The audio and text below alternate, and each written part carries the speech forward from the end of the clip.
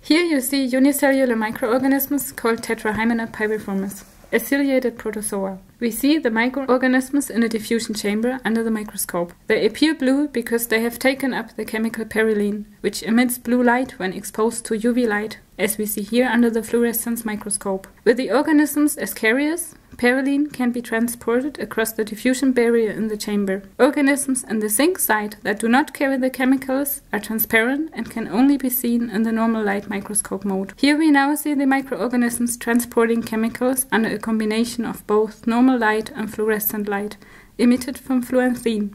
This chemical belongs like perylene to the group of polycyclic aromatic hydrocarbons. PAHs. These chemicals have very low solubility in water. Instead, they prefer being dissolved in lipid-like phases. Therefore, they partition into the lipid membrane of the organisms and can be transported with them. This is the first time such transport is documented. On the microscale, such co-transport is much more effective compared to molecular diffusion because of the elevated concentrations in the microorganisms and their ability to move actively.